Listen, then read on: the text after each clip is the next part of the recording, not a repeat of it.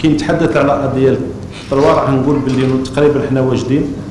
راح راح نقوم كاين تجارب راح نقوم بها. pour faire des essais de chargement على la plateforme باش نشوف le comportement تاعها. حنا في صدد الانتهاء من هذه التجارب.